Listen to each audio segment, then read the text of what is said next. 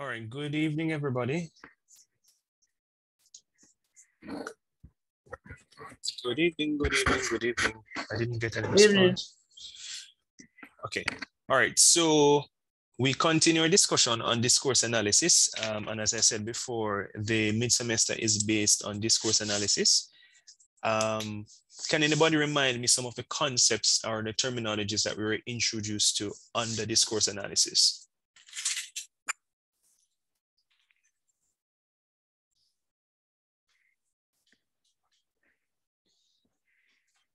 It's not a rhetorical question, people. Can you respond?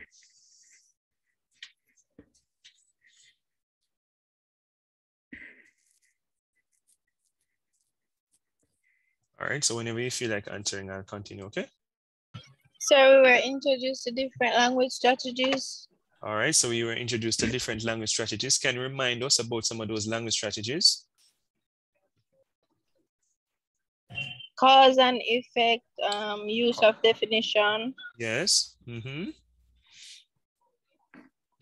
Give us some more. Contrast. Contrast, yes.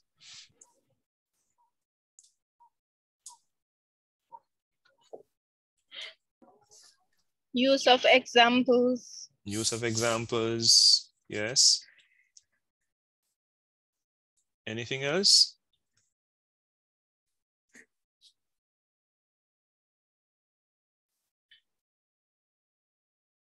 Sir, expert opinions. Expert opinions, yes.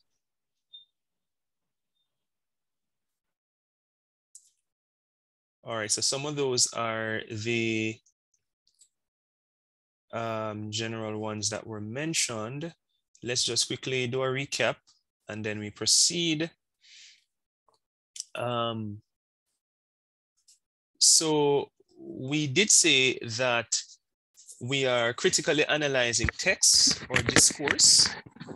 Um, and we spoke about the fact that there are different types of readings um, or different purposes for reading, and that in our bid to analyze a piece of discourse, we're doing different, we're participating in the reading process or the reading processes. So skimming in the sense of skimming, you're just looking for specific information and scanning no, skimming, sorry, no, sorry, sorry, let me rephrase. So scanning is when you're looking for specific pieces of information and skimming no is when you just really just glancing over just to get the gist of everything.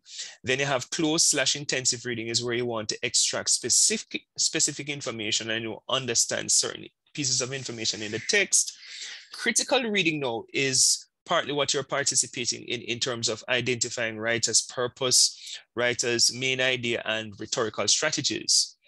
We went ahead and looked at, you know, I don't want to get into all the benefits of reading, but we looked at it in the context of um, understanding organizational strategies and that what you're expected to do is to analyze or critically read text or discourse, and it means that you're breaking down the whole text into various parts, explaining how each strategy, for example, helps the writer um, to achieve his or her purpose. And we made a distinction between analysis and critical analysis in terms of, and that is what you're doing, you're doing critical analysis, and that it is important in the context of consulting sources and using them within the body of your paper.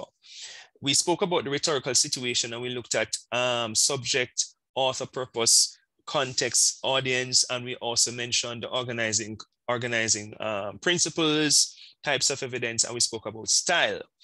We mentioned that the subject or you can say the subject is the main idea. And I did mention that the main idea, it is who or what the discourse is about. So when they say what is the writer's main idea, the writer's main idea is that, and I did mention that you begin that with the that clause or you say the main writer's main point is that. We mentioned too that you need to understand the perspective in terms of the author, not the author um, specific person, but from a, from, a, from a kind of perspective. Then we mentioned about audience, the different types of audience, um, audiences that exist, that you have primary versus secondary, specialist versus general. We mentioned too the whole notion of purpose and that these are some of the terms that are used to um, speak to, to purpose, inform, instruct, clarify, argue, assert, claims, um, and that it is reflected in the dominant mode of discourse. So the writer's overall um, purpose determines the type of discourse mode. So if, it is, if the writer's purpose generally is to inform, then the discourse mode is expository. If the writer's general purpose is to persuade, then of course the writer's purpose is um, the general the discourse mode could be argumentation slash persuasion. We mentioned too that context is what are the circumstances that um, led to the creation of the, of the piece of discourse. And usually that sometimes the context is stated in the passage. And then we looked at the various types of um, rhetorical strategies, um, cause and effect classification, comparison um, slash contrast definition. And we looked at various examples of definition. We looked at various examples of um, illustration slash examples. We looked at um, process explanation or process analysis or chronology. And we mentioned that even a eulogy is an example of that or a manual or even a menu.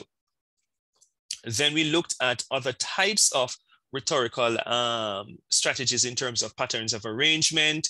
And we did mention knowledge which is what I mentioned earlier. Um, and also to the different types of facts that exist and how that in and of itself affects the writer's credibility. And then I mentioned too that your second paragraph, body paragraph, will probably or more likely speak to style. And then we looked at the various examples of style and all of that. And these are just some examples. And I did say that many sources may not be expository, some might be um, argumentative. So in order for you to identify the type of discourse mode, you must determine the writer's overall purpose first before you go any further. And this was a summation of that. And in terms of evaluating the text, these are some of the questions you answer. What is the dominant discourse mode? But I always say before you determine that, you have to determine the writer's purpose. It is the writer's purpose that will determine the type of discourse mode as well as the type of um, language or organizing principles or strategies that are used and also the type of evidence that is used um, and these are, in other words, these are some of the questions that you answer when you're doing critical analysis uh, signs of bias, that speaks to credibility. One of the things that I want to mention, and let me put it here for you. Uh, all right, so it's mid-semester. Mid-semester. Organizing, organizing. I'm going to say my discourse analysis essay. All right, so you have an introduction. You have two to three body paragraphs. Where then it's really going to be two in your case, two body paragraphs, but some persons might have paragraphs and a conclusion, right? Conclusion. In the introduction, you're going to put main idea, purpose, discourse. So let me say dominant discourse mode, dominant discourse mode, and thesis.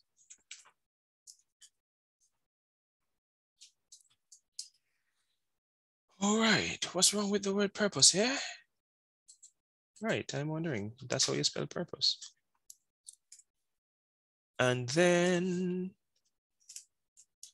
one topic sentence on organizing principles.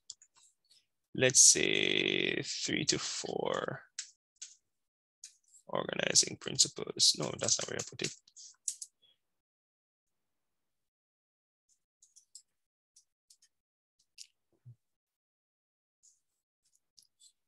No. Second topic sentence on style or and or language techniques. Put in bracket figures of speech. Then you do your conclusion. You know what's her name taught me something that I did about these slides thing. That I can increase the size. This, I don't remember. Don't remember to do it. And for the conclusion, restate thesis and summarize main points in body paragraphs. So I have the correct spelling of summarize, but because it's not American, they're flagging it. All right, so it's 32. Let's see, 28. Yes, 28 actually it was. Let's bring this down. No, that's not what I want to bring down. This is what I want to bring down. All right, so the mid-semester organizing your, organizing my discourse analysis essay. So you have an introduction, which is right here. You have two to three body paragraphs, and you have a conclusion.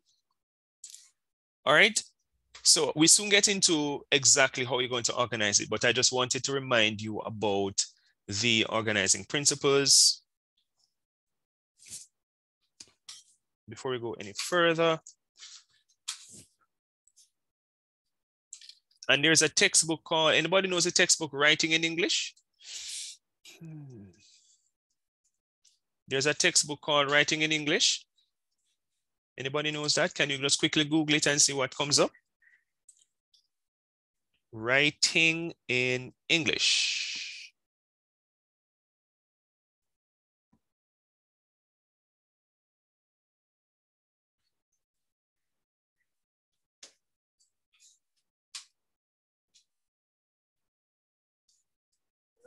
Sir, mm -hmm. this, this information that you just gave a while ago, um, how do I get these? Do you have them in a slide form or where they sent to persons? I email it to the class. Don't you check your your your Canvas email? Sir, I started the class late. I go on Canvas and I always check to see what is there. When did you start the class? About what? About a month now. That's not starting the class late. You started the class when you were supposed to start the class. And it's if you're in my class, you get my emails. If you're in the class for a month, then you need, well, you need to consult your head, head of school because I'm not the reason why you're not getting the emails. That's coming from your head of school. Because once I when I send emails, I just say, I just say, um, I just send it to all students. So I would not have any control who gets or who doesn't. Because once they give me the class list, then I just send it. All right, so you need to cons if you're not getting the lecture, if you're not getting the information coming through Canvas, you need to consult your um, head of school. Other students, are, have you received my emails that I've sent? I don't send a lot of emails, but I've sent like one or two or three, and I'm sure you guys have received them, right? Yes, sir. Okay. Yes, sir. Right, because I know I just and it's for both it's for both my classes, so everybody would get it. All right. So before we get to the actual essay writing, what we want to do is just to, again, just refresh our recollection as it relates to the rhetorical strategies and all of that. All right. And then we are going to look at some examples. I think I gave you something to do, but I think we might just do them together. All right. I have, oh, I actually have a video that I, yeah, so probably I need to upload the videos in the WhatsApp group as well. You see, I post something in the WhatsApp group. Yes, sir. Okay, all right. So sometimes I discover these things. Where did I save it? It's on, no, it should be in ECC now. Come on. Lectures, week three analysis. That's lectures, these are videos. Right, so there are two videos. I think these should be able to help you as well. I don't think I can upload them to my YouTube channel. They're going to flag it for plagiarism. for copyright, not plagiarizing for copyright. If I upload them, can't upload them to, to Turnitin. All right, so let's look at the, let's look at the, an example of, let me, still a rhetorical analysis, but I'm just giving you some additional information, trying to ensure that you understand it the best way possible before um,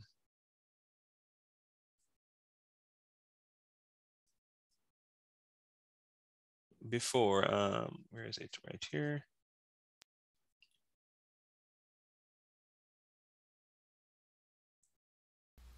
Okay, this Are you hearing? short lesson video is meant to review how you can you expand and improve and add depth to Yes, your explanation of rhetorical strategies on the AP rhetorical analysis essay. Um, what tends to make a good essay a great essay for students is how well you can explain and give insight into how those strategies work and affect the audience.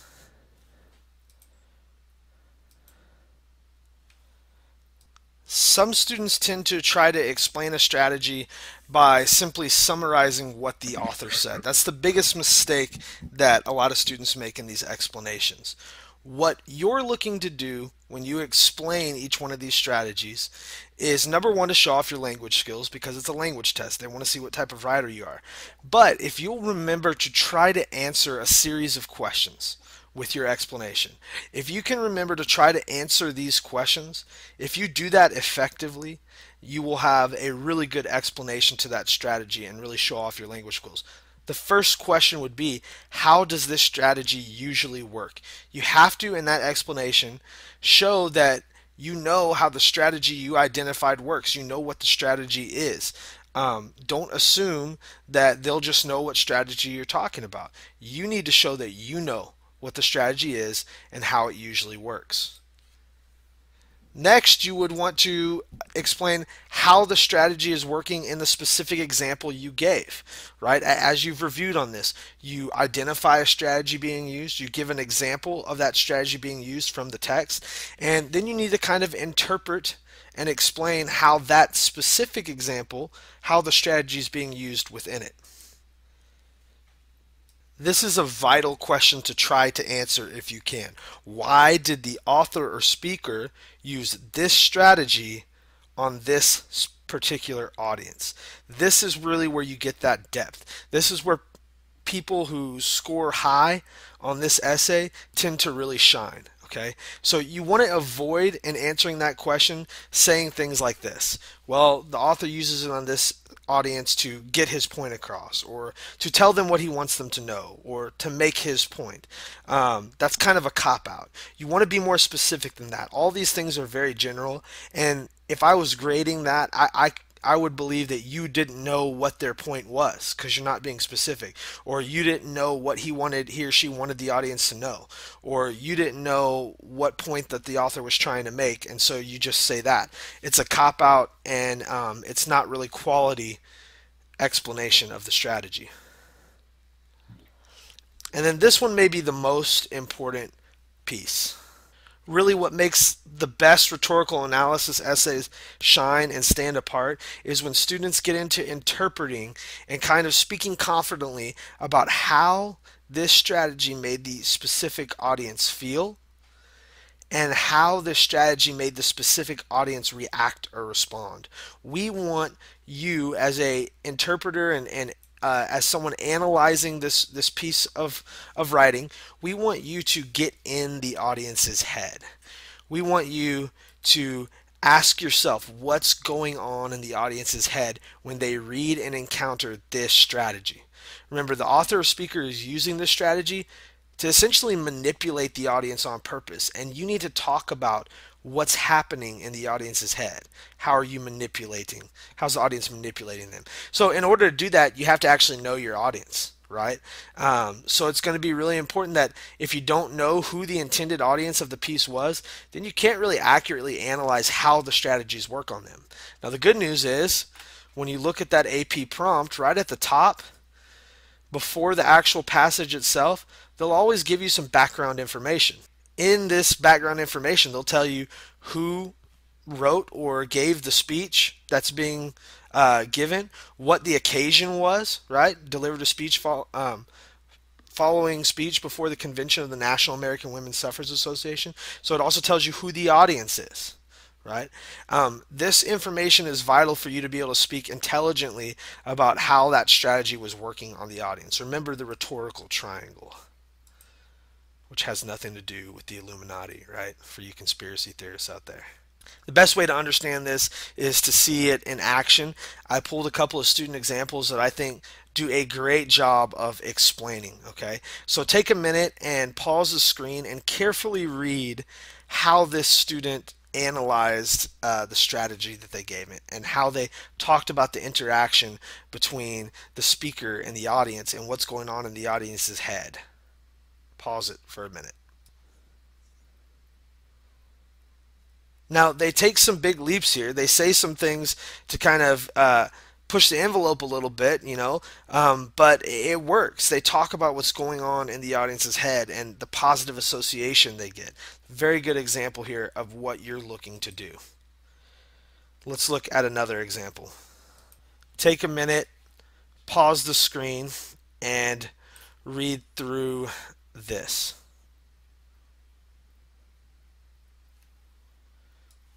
continue reading down here.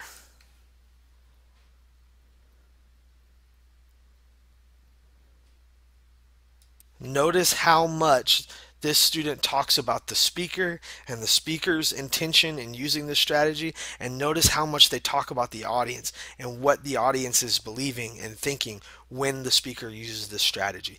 This is what a quality explanation looks like in the rhetorical analysis essay. That is what you're going for if you want to score high. So if you're watching this video as a part of the review for the AP exam, um, one of the things I'm asking you to do is to go back over your work. Go look at when you've tried to attempted to explain these rhetorical strategies and see how you can make those explanations look more like the explanations I just showed you.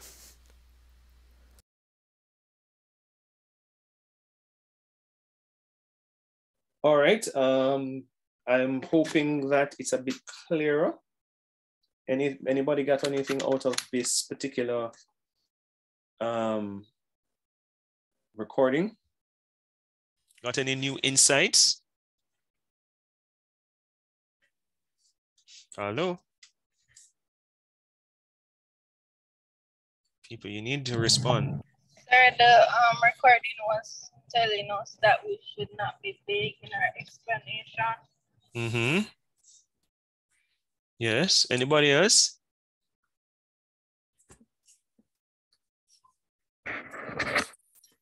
I'm not sure why people are not talking. I hope when you get your the the work you you're okay. Because if you're not talk, I don't know if you understand. The other one is a bit longer, but it also reinforces most of what I said before. Let me share screen.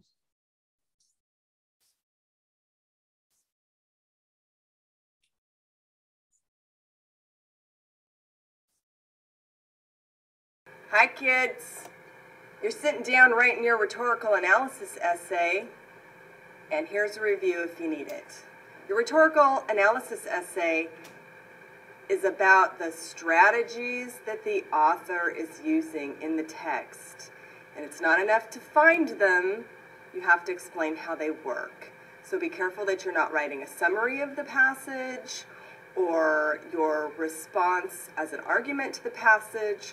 What you're doing is you're finding the main rhetorical devices that the author's relying on to create his or her argument and you're explaining how they work. So the first thing you need to do is you need to read the passage. Make sure that you annotate it so that you can find your way back as you're writing your essay, that you identify what you believe are the main devices. That's your argument in this paper. You are saying these are the main devices that this author is using to create this argument. You develop your argument about the author's devices. Make sure you discuss the purpose why he or she is writing this, what he or she wants to accomplish as a result of writing this, or in the case of a speech, speaking it, what audience they intend to reach. And once you've identified that and make sure that you write it down on the passage so it's there for you to find, then you start writing. Okay, once you start writing, you need to write a solid introduction. So make sure that you do the following. You do need to summarize the essay briefly, one or two sentences, okay? Just briefly. Um, you need to outline the speaker's thesis and main argument so that you're setting up what the writer's trying to do, and then your body paragraphs are going to show how he or she does it. Okay, so you want to make a reference to what the author is saying or writing, really, and how it is said, and that's where you get into tone and the classical appeals to ethos, pathos, and logos, and perhaps some of the other grammatical and rhetorical strategies. That will be in the body paragraphs of your essay. Do not write a sentence such as um, the author uses tone and several rhetorical devices to make the argument that blah, blah, blah. You need to be specific, okay? In a pinch, but only in a pinch, you can start with a rhetorical précis. It will work in this case, and pretty much every case. However, for our purposes, especially in the first few rhetorical analysis essays that you're writing, you're writing them in class with a lot of support. So I want to see a real solid introduction. In a timed writing situation, you can fall back on the rhetorical précis and it will work for you. So there you go. So now we're on to your body paragraphs. There's no hard and fast rule about how many that you need. There's, you don't have to have three, you don't have to have a five paragraph essay. Um, each of your body paragraphs needs to be its own entity that serves your argument about how the author is creating meaning.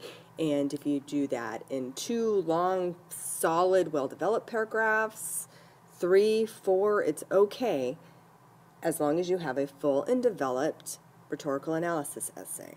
So in each of your body paragraphs, you want to focus on a main rhetorical strategy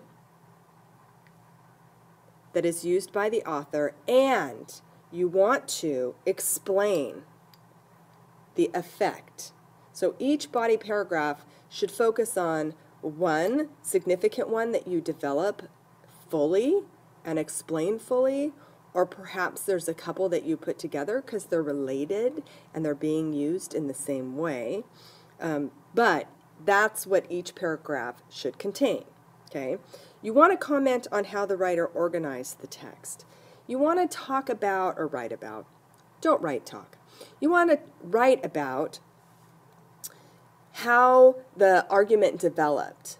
For instance, in Martin Luther King's letter from a Birmingham jail, he starts out with an address that explains why he's taking time to respond to these clergymen before he launches into his point by point argument. And his argument builds one idea on the other.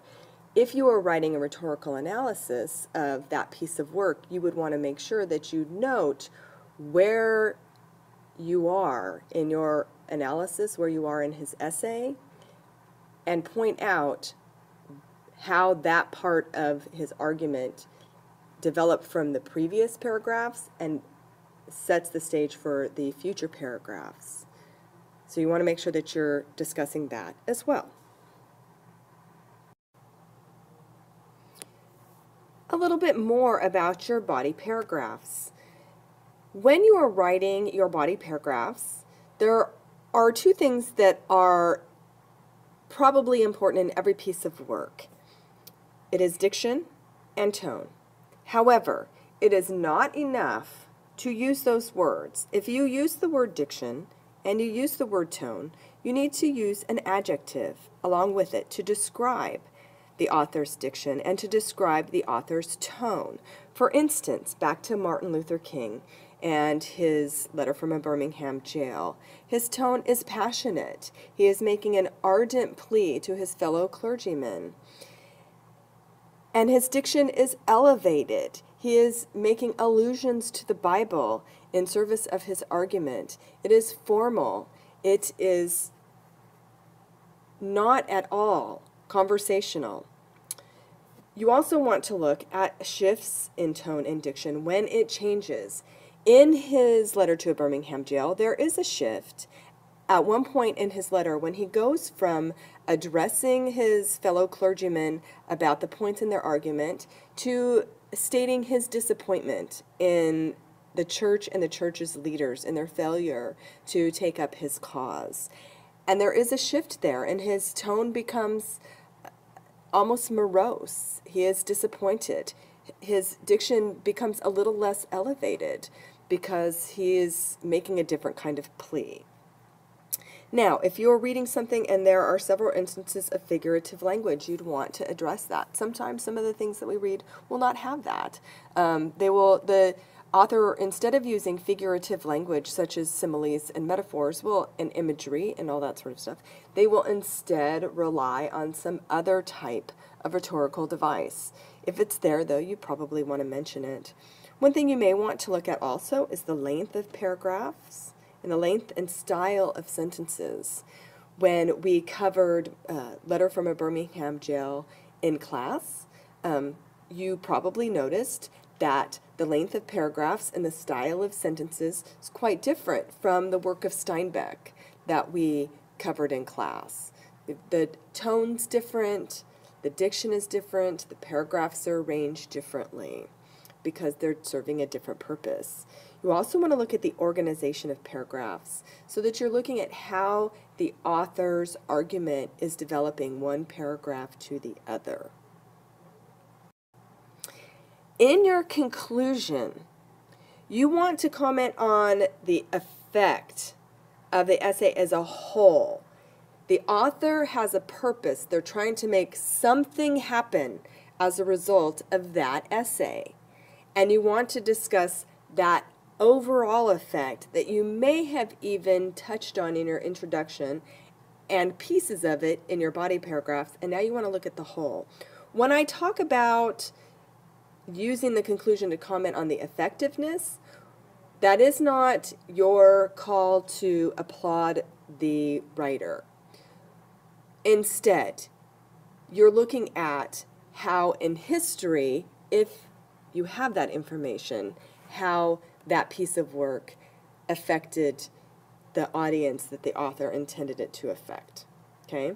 You want to drive home your argument of what's found in the text. Do you say these three or four things are what drive this essay and create the meaning of it, and you want to come back and address that. Okay? Avoid the sound of applause.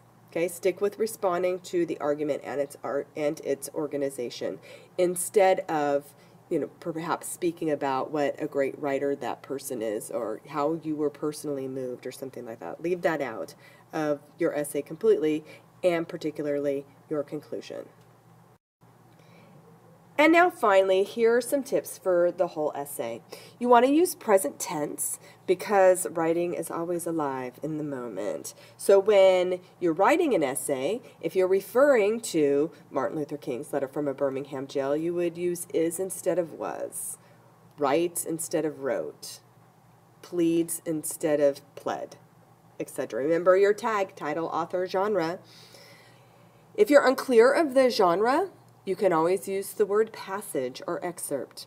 You need to refer to yourself if you must refer to yourself, which you probably want to avoid doing if at all possible. But if you are going to refer to yourself, refer to yourself as the reader or the audience. Never use the word you. Avoid that completely. Replace it with something more specific okay? In your body paragraphs, you need to support your claims with direct quotations. You need to take direct quotations from the text. You also probably want to rely somewhat on paraphrased information.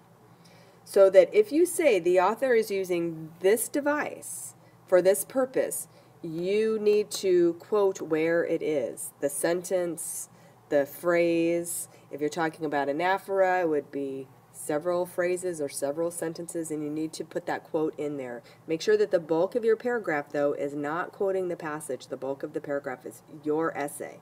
But you do need to have quotes from the passage and paraphrased information to support what you're saying is going on in that essay.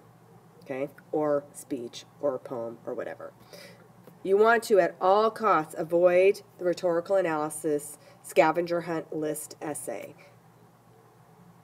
Do not simply list the devices that you find and quote them, perhaps, and call it good. You need to truly respond to the text and discuss how those devices are working in that essay. Good luck to you. Write a great essay.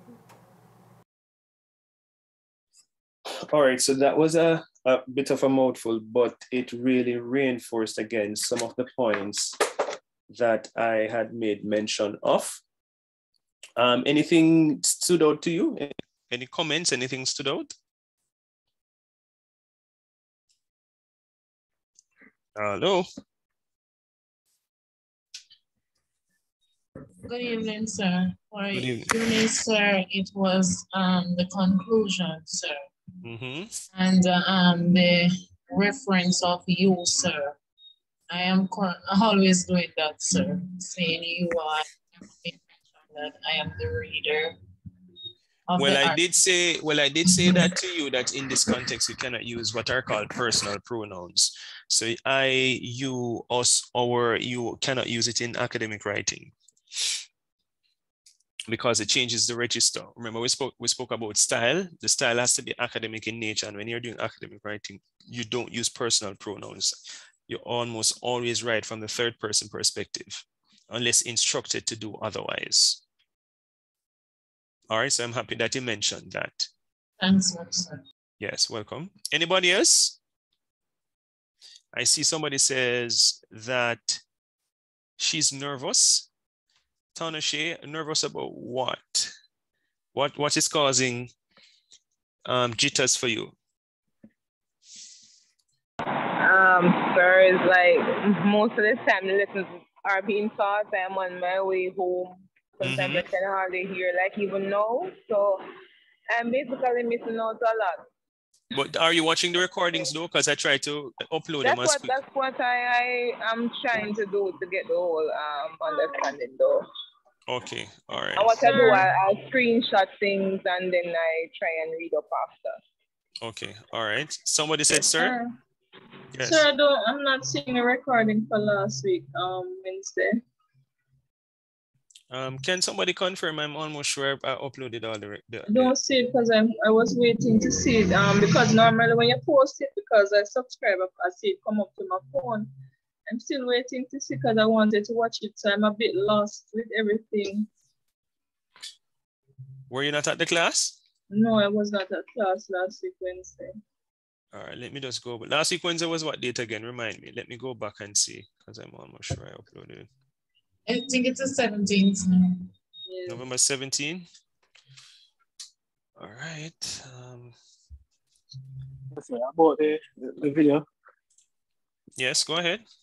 So uh my one of my key takeaway points was when she said, don't go scavenger hunting and saying, you know, just stating, you know, what the use of the rhetorical, rhetorical device is. You must um talk about how it connected with the paragraph and what it did also. Which is what I say. You have to connect it to the writer's purpose. You can't just say the writer uses contrast in the line or uses contrast to compare apples and bananas and leave it like that. You're not going to get any mark for that. You have to say the writer uses contrast to point out X and Y, X and Y. And we're going to do some practice of that. I am almost sure I uploaded this recording, you know, let me just see, because uh, once I see it clicked on, um, this is Monday. So this is PS. I am almost sure this recording is there without a doubt that I uploaded it. Let me just go back. Um, Uh, the name of the recording um week four um lecture one, sir, five days Yeah. ago. Yes, that's what I'm saying. It's there. I didn't Oh, miss okay, it. not- yeah. I didn't miss it because I, I, I rec- it would have been, I think it would have been last week. Let me just look in my folder and I tell you exactly. As you are saying to me, um, it would have been from the 25th, it would have been week, what, three or four? Week four lecture one. Oh, so, oh, lie, but I don't see week. That's the one I saw. So week Oh, so she, so she's not seeing week four, lecture two. Right, right. That's what we're not seeing, sir. I wonder if I'll mislabel it. Lord, I pray to God I never mislabel it. All right, see Uh, it. I, s- I see one where it says It, the class was on the, so the 16th, 17th. which is on the 17th. 17th. All right, Yes, so, so this, oh, I mislabeled it, you know.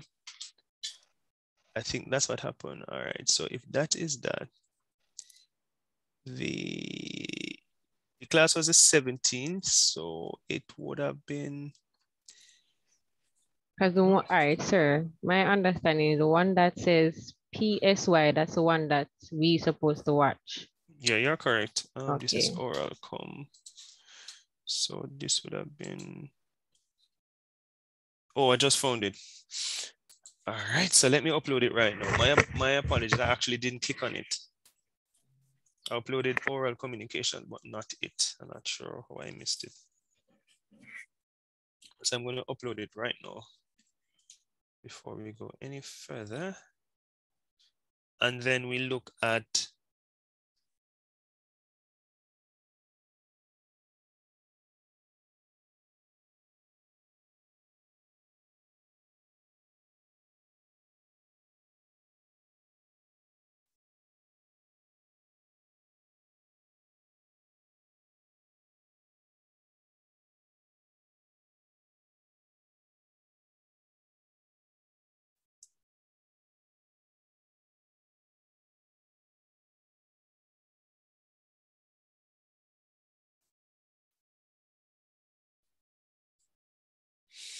All right, so let me, before I forget, so it would be, this would be week four, lecture two, right?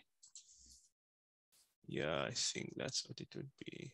Yes, I think that's what it should be. Yeah. Yeah.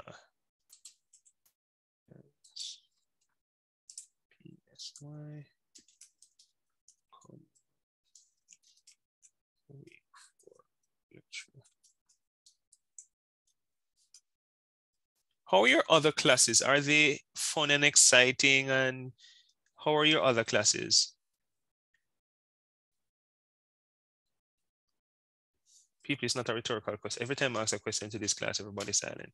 Well, for me, sir, the classes are, they're okay so far. They will get to interact with each other. We're going Mhm. to groups. Um, we get to know each other names, we get to work together. So it's really good thus far. Okay. Anybody else? For me, sir, Mhm. um, I think my best classes are um, intro to psychology and uh, ethics of helping the profession, sir. I Mhm. think those are the mo- most exciting class and um, because we are maybe a bit small, so we get the chance to interact um, more, sir, with each other, sir, during Mhm. our class time, sir. Okay. Right, because some lecturers, some some persons were saying students seem not to enjoy online classes, and I was like, I don't have an issue with my class. My students come to the class, and them everything everything is okay.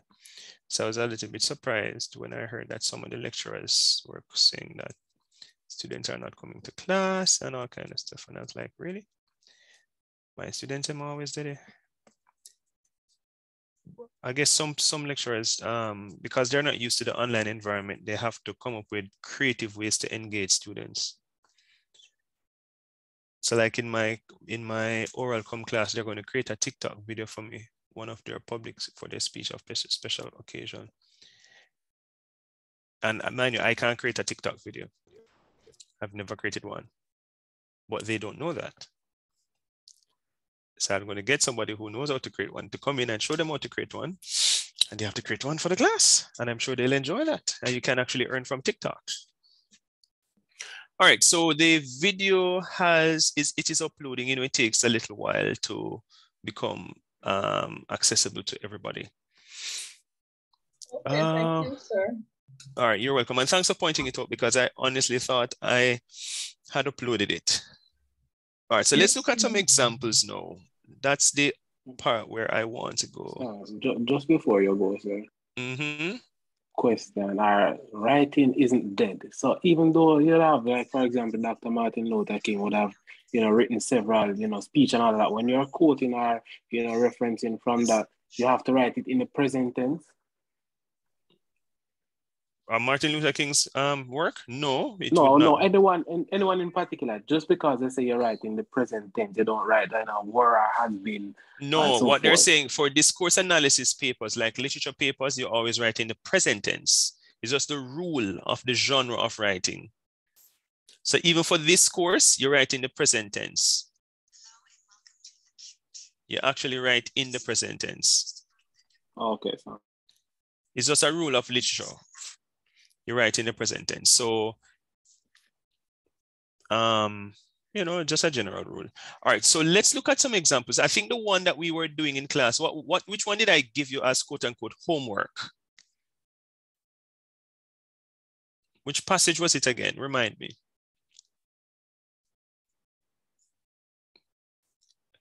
Every question I ask persons are silent. I don't know why. It's not a rhetorical question, people. Which one did I give you as homework? Sir, it wasn't a passage that he gave for homework. I didn't give any homework? you give homework, but it was related to what we were writing. Uh, how um, our, our intended audience, you know, what you know we plan to get across. I'm going to bring it up now and look at it, but it wasn't that passage. Hold on. Okay, so you have the homework. So let's do the homework. All right, hold on, hold on. No. That way bring me back to the focus. Sir, Thank you you for gave reminding me. the homework for Wednesday. No, yes, sir. Wednesday, sir. Wednesday, sir. Sir, homework Oh, it's for Wednesday. Wednesday, yes, sir. Okay, all right, everybody. Mine on the plan and say Wednesday, no, you know. No, No, sir. no, I'm no, not listen about writing strategies. Okay, all not right. there. Remember the classes are recorded, you know, sir. We have proof. Yeah, man, have proof. All right, all right. All right, so let's look at a different one because I have several. I was actually looking, trying to find an example. I'd given, when I was teaching at UCC, I'd given some students, which email did I use? No, I didn't use this one. It would have been the UCC email. I think I had some good ones. Some some students struggled. Uh, was it here? Sentence online? No. Makeup module.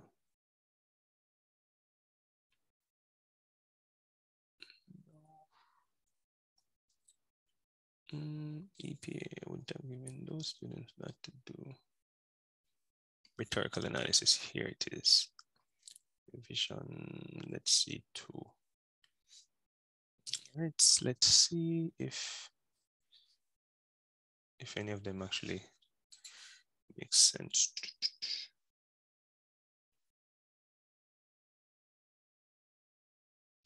About you never write the thesis?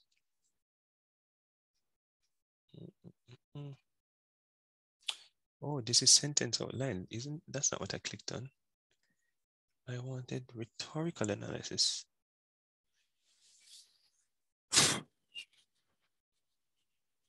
Let's see the first one. Let's see the second one. Right, this is supposed to be rhetorical analysis. Mm. Mhm. Convinced that this is a good one.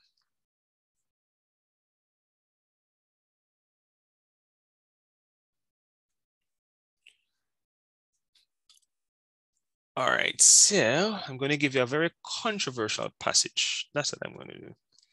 So remember now in the introduction, so I'm going to teach you how to do it this way. Introduction, you have main idea, purpose, discourse.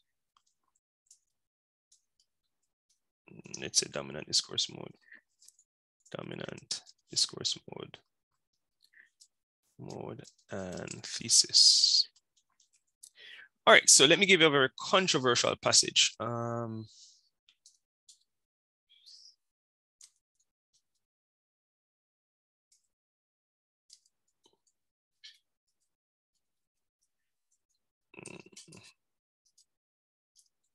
this was one big excitement at the time when it came out. So let's say, do I give you this one first? Yep, it's very controversial. All right.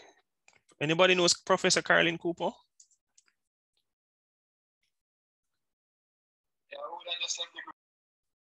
Anybody knows Professor Cooper? No? Yes, sir, but who doesn't? Well, some people don't pay attention. All right, so the title of this passage is KC Old Boys Desire Male Sex. Make no assumptions about the content based on the passage, and I've shared the link in the chat, and I'm going to also share it in the WhatsApp group. All right, and as I said before, she's a bit controversial. Have you clicked on it? So I'm going to read in the interest of time. I have great respect for, and if you hear any device, any strategy or anything, you can just jot it down, right? So I have great respect for the KC old boys who have proudly come out and made their sexual preference absolutely clear. The female sex is not for them. In 2012 and 2013, the KC Old Boys Association tried to make it with women at their annual dinner. They concluded that the experiment had failed. This year, under the leadership of Dr. Patrick Dallas, the old boys decided to stick it to themselves. It is quite understandable. For five or even seven years, at a crucial stage of their sexual development, these KC old boys spent five days every week for most of the year with their beloved classmates. They fought and made up. They played games on and off the field, and they embraced each other in victory and defeat.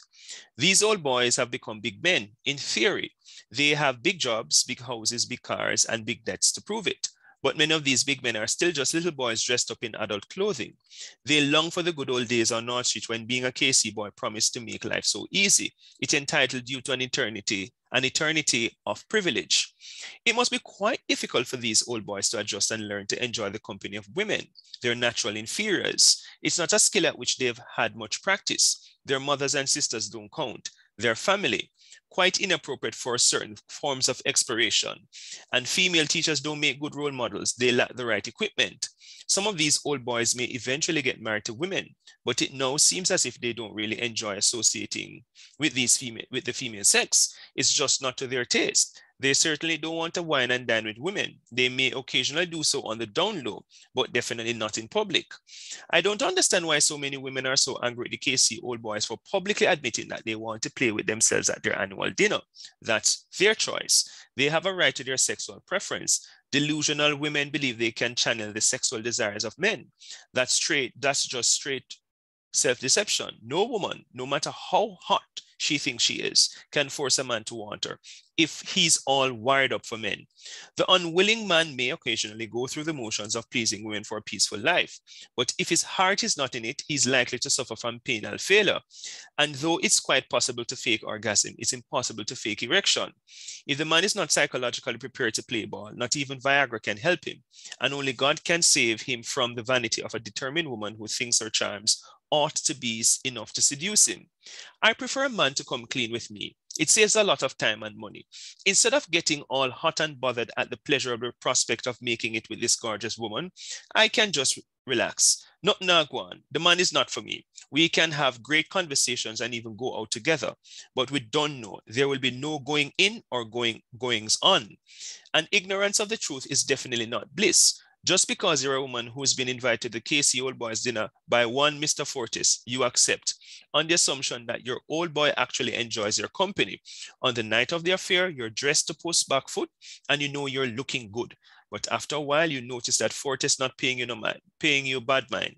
Female intuition kicks in and it comes to you in a cold flash. Much to your vexation, you realize that you're actually an unwelcome intrusion. Your old boy's body may be next to you, but his eyes are roving the room, looking for the real objects of desire, his faithful companions from way back when. The origin of that word companion is Latin. Com means with and panis means bread. So literally a companion is someone you eat bread with. And that includes patty and box juice, your, heart, your article brethren. No woman can come between a man and his bona fide high school sweethearts, plural. No matter how hard she tries, the brave may fall but never yield. All the same, several old boys, several old boys don't approve of that backward move to exclude women from the annual dinner. These are the real big men who have definitely grown up. They have no intention of leaving their female companions at home while they go off to live in the past with their high school sweethearts. After the old boys' dinner, they'll want to share bread and bread and bed with their women, with their woman. It should, I'm sure it should be women.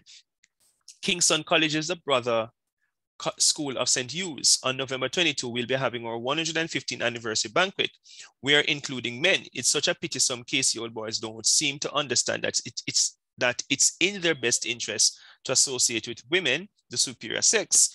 Good sense might, might just rub off on them. It takes a new kind of old boy to get it. All right, um, I want you to take a minute or to, to read up, to read this particular, um, go through the passage and then try to identify um, main idea and purpose. So I want you to identify the writer's main idea, writer's purpose. Let me put it in the breakout room because I think the breakout room will give you enough time to kind of, um, uh, where's my breakout room? Every time I have to, oh yes, here it is. All right, so as I said, this is just random, okay? Random. So main idea, purpose, and if you can identify three organizational strategies, I'm going to give you until 6.30. Yes. So you have more, you have about 17 minutes. All right. This is just random activity. All right. So go in the breakout room for me. Read the passage. What is the main idea, purpose, and what? It's in the chat. Okay. And the three organizational strategies. Okay.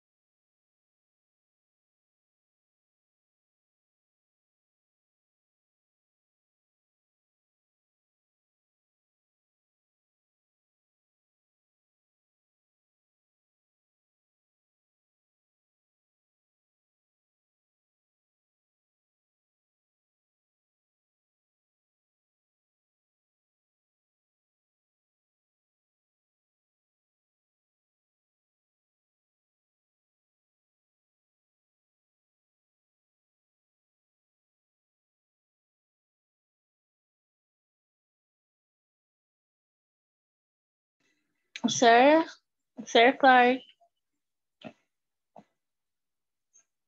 Yes. Sir, why you put me alone in a, in, in a breakout room? Um, Yashika Bennett is supposed to be in the breakout room with you. I'm alone in another room, sir. That's why I'm exit.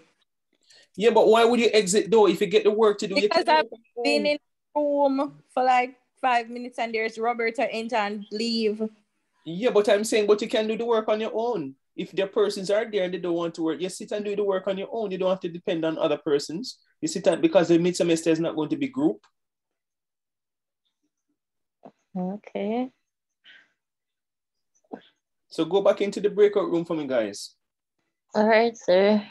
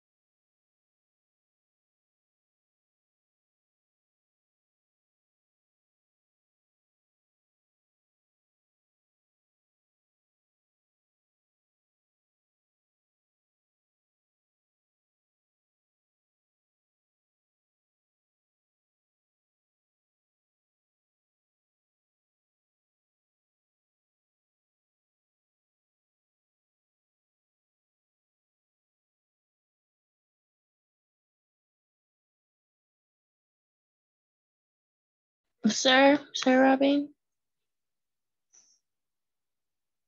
Yes? Sir, Sir, there's can a you- little sir, can you add that, add Roberto in group five, please? Group five. Yes, please. I was changing over my device. I was on it with two devices at once, so I ended up in two groups. All right, I think I put you back in group five. Okay, sir. All right, Thanks, sir, appreciate it. welcome.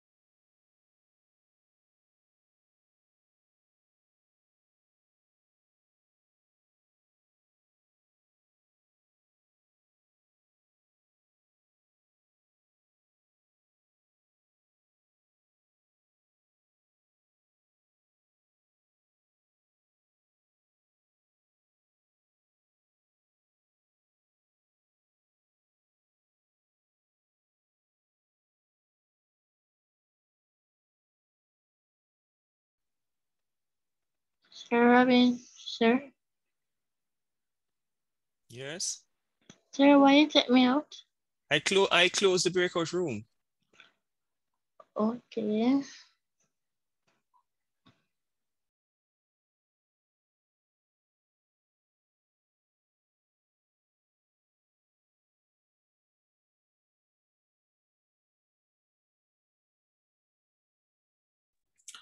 All right, so let's hear it. Let's hear some of what is coming out of room one. Carla, Nikita, Rakisha, Shanette, talk to me. What what are some of the things um, that you guys discussed as a group?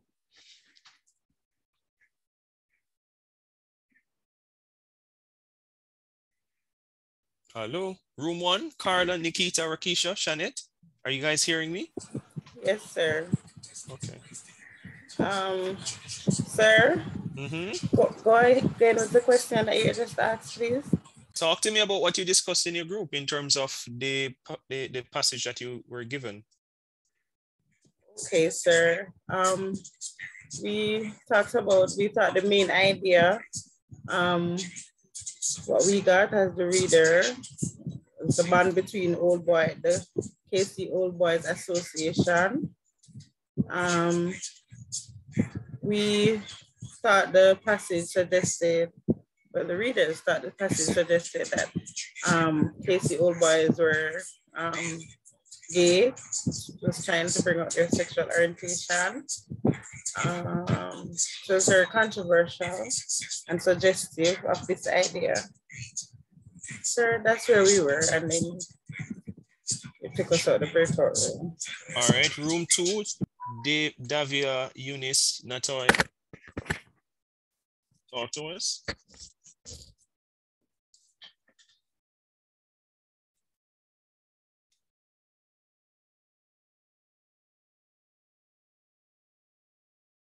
Room two, Davia and Natalia.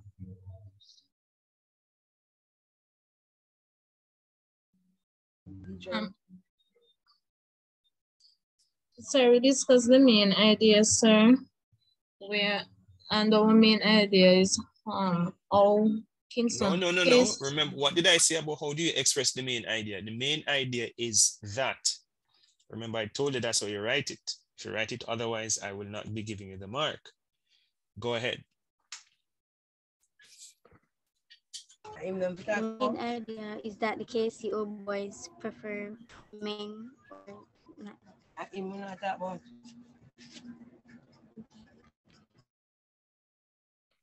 All right. Um, anything else from room two?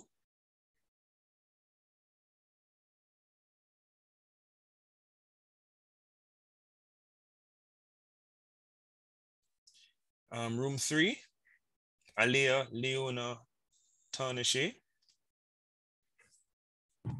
Yes, sir. Um, we believe that the writer's main idea was that the KC old boys preferred to um stick with the, the gender that they already were going to school with. Um, the organizational strategies that the writer used, we saw um contrast where they compared um the KC old boys They the saw St. contrast where they compared, but contrast and compare don't mean the same thing.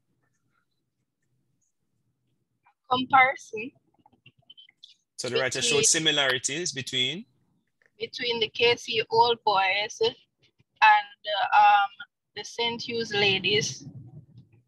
was it a similarity? Was it a comparison or was it contrast? Contrast. Right. So use the right term for me, please. Anything else? Sir, we thought that the writer's um, purpose was to highlight the fact that um, the KC boys felt as if including females was a bad idea. Mhm. Yes, sir, that's what we had. All right. Room four, Alicia, Janelle, and Natoya. Um, sir, the main purpose of the article is to discredit the gathering of the esteemed gentlemen of the KC Old Boys Association by taking unnecessary jabs at their sexuality. Mhm. Um, the, the purpose of the article uh, is, is for the audience to believe that the association is a group of homosexuals who are misogynistic. Okay. Anything else?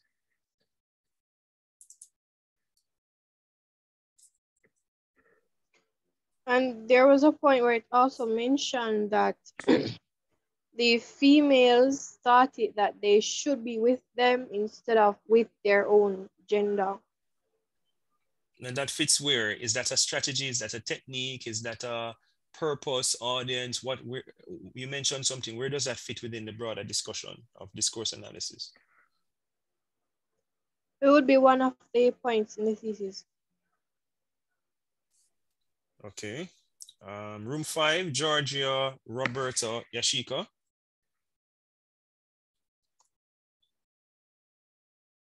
All right, sir.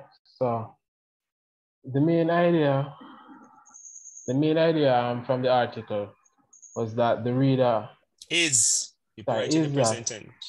Mhm. is that the reader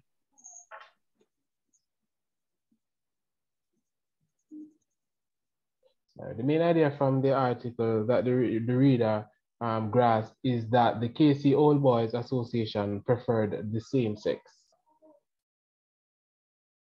And majority of the old boys would rather to have their setting in a manner as back in their days, at their high school days when they were only male present for school. Okay.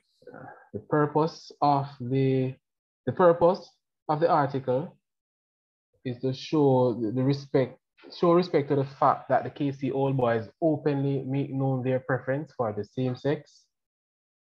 The dominant discourse mode um, would be the the is sorry is that the author is showing appreciation. No, no, no. Discourse either the discourse mode can only be either exposition, persuasion, um, narration, or argumentation slash Oh. persuasion. That's the only thing you Oh, can write. One argumentation slash persuasion, sir.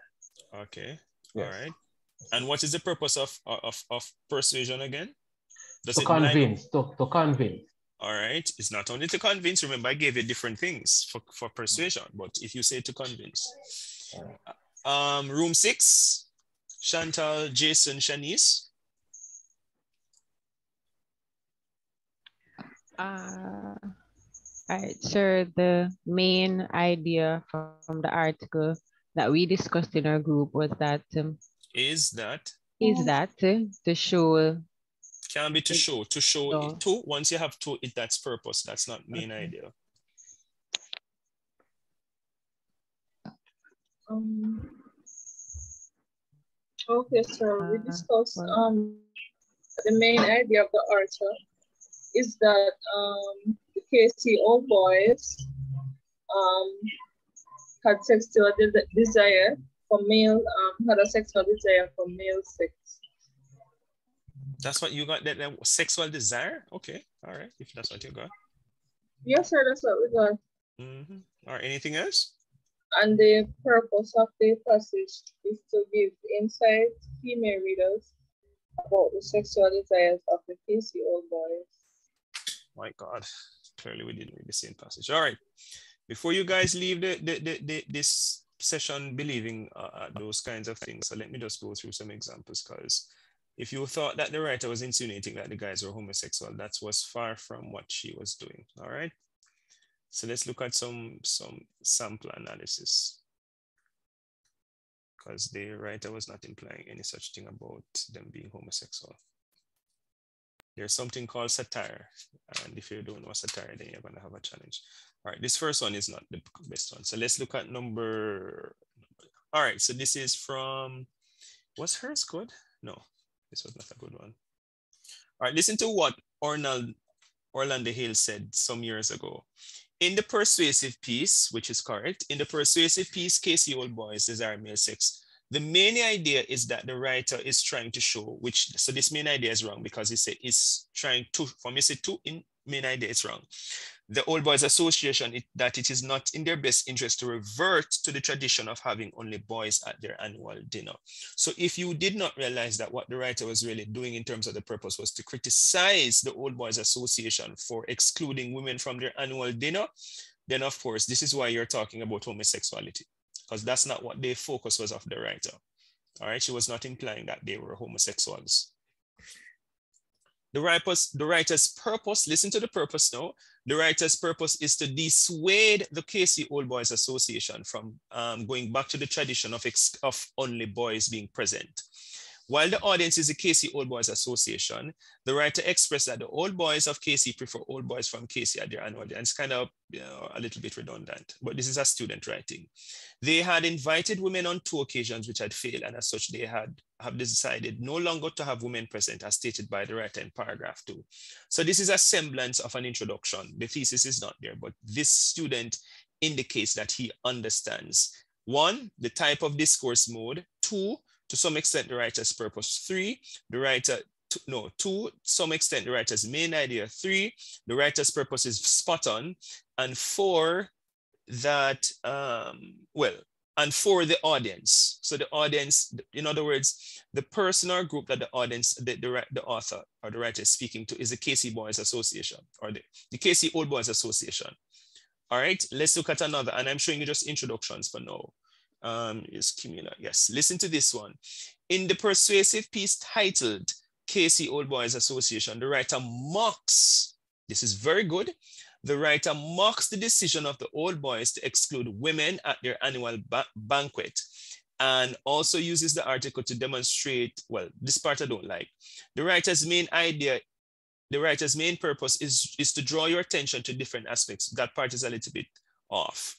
But I like the word use of the word mock. Um, if you don't know the word satire, then you would have assumed wrong. I put the word in the chat. Let's look at another one. Um, this is Neon Smith. Look at this very um, good piece. Although the discourse mode for him is wrong, the discourse mode for this one is wrong. But I think but the, the, some parts of it is wrong, but there are parts of it that demonstrate that the student to some extent understands. So in the expository piece, it's not an expository piece. The writer cheerfully brings across her main idea. This is not a very good way, but this part is good, are that the KC old boys are immature in their decision to exclude women from their annual dinner. This decision arose out of the failed attempts to include women in the social event by poking fun, which is true, at the Old Boys Association's decision, the writer seeks to bring into focus the reasons they choose to exclude women. Um, and then the writer says their spouses, um, to achieve the purpose, the writer uses three organizational strategies. All right, so this person, even though the discourse mode is not correct, the right, the person understands many aspects of what is being stated by the writer. Let's look at another one. I think this is the most, the best one I think I have. In the persuasive piece titled KC Boys Desire Male Sex, the writer illustrates her displeasure with the decision taken by the KC Old Boys Association to revert to the practice of only allowing alumni to attend their annual dinner instead of extending an invite to their female companions. The writer's discontent is conveyed in the title KC Boy Desire Male Sex, where it is insinuated the KC uh, Kingston College alumni prefer company of each other than that of the female sex. The writer achieves this by using three organizational strategies, and the person talks about the, the organizational strategies. And we're going to talk about organizational strategy, but I want you to get a sense of the introduction. Um, Siku Burke, was this a good one? I don't have her name down. I think this was a, this was a, this one was not good because of the length. It was too long.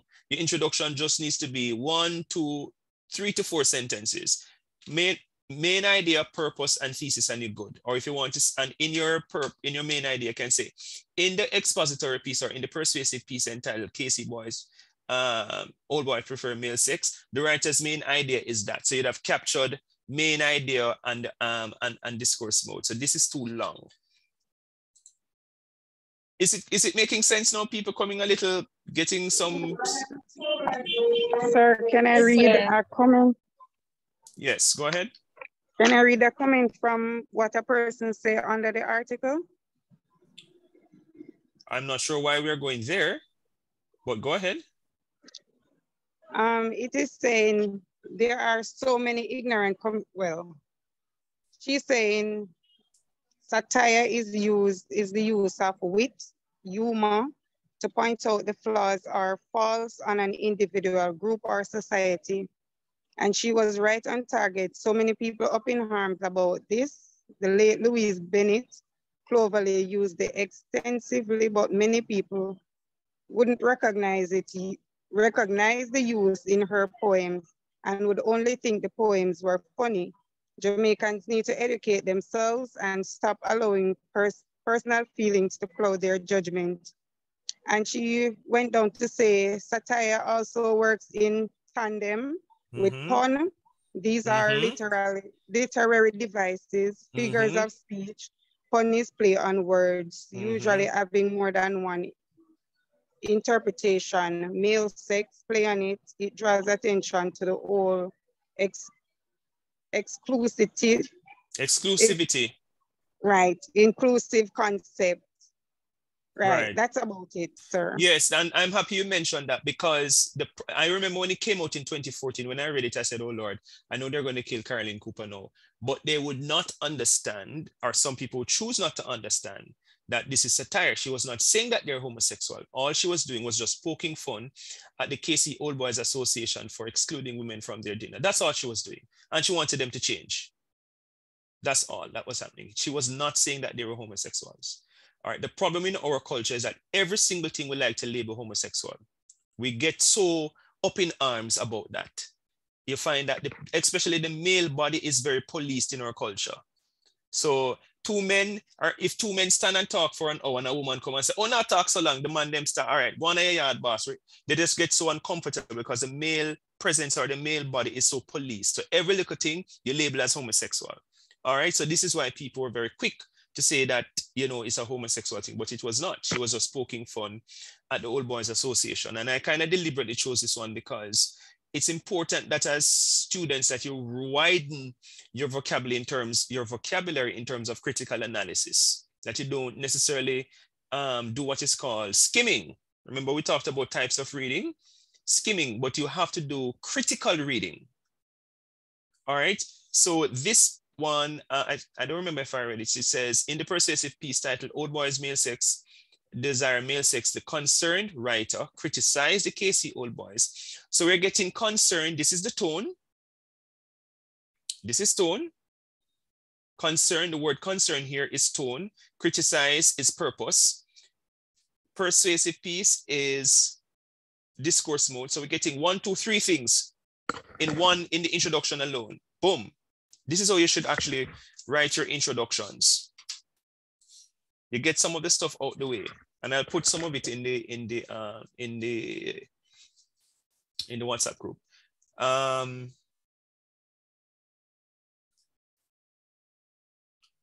all right so let, let me not read any more introduction but this part about hypotheticals when it says in the first instance the writer uses three organizational strategy for example hypothetical, I think this person was talking about hypothetical example in which the writer describes men spent their early days of development to each other, which includes the classroom at play.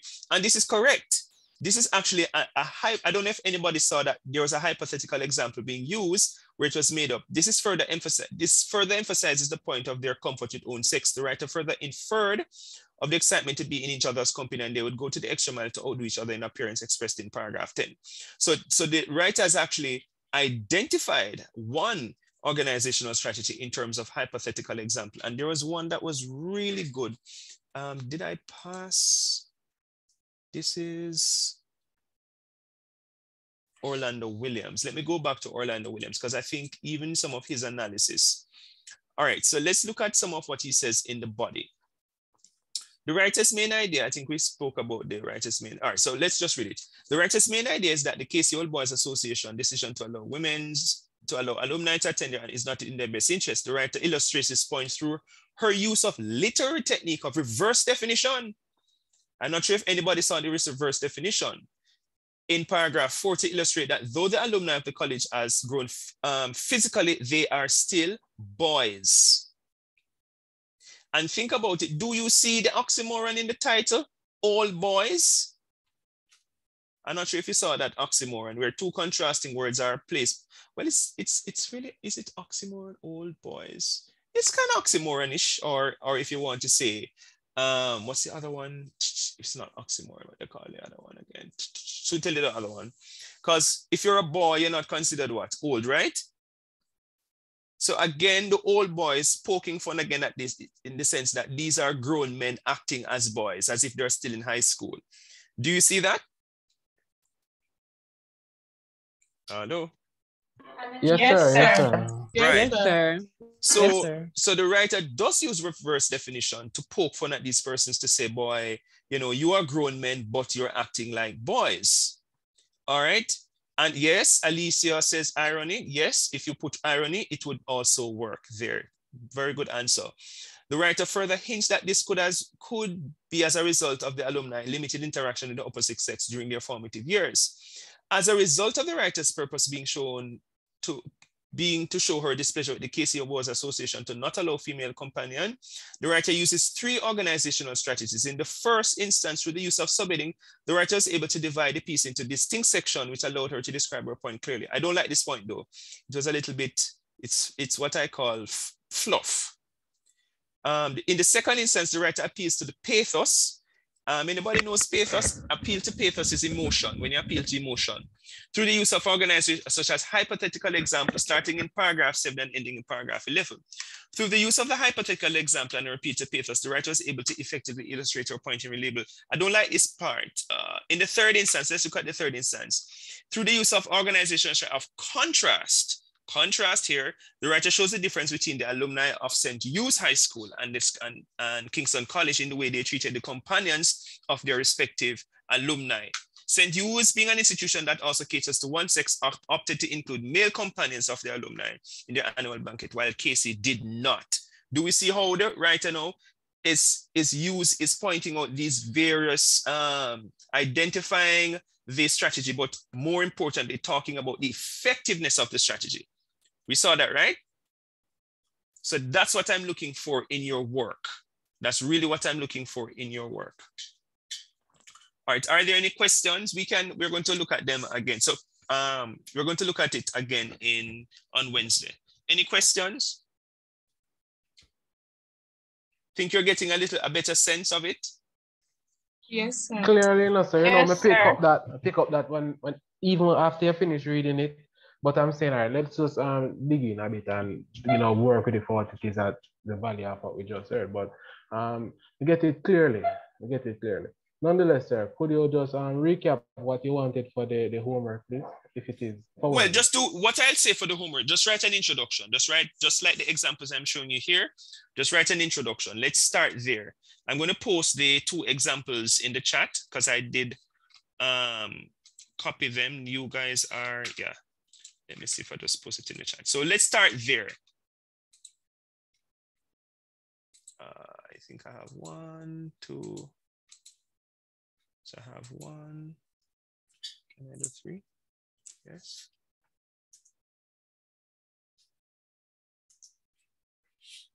So I think I have two. So remember now, these are written by students, so they will have some amount of quote unquote grammatical errors, but at the end of the day, language, the expression is marked on its own.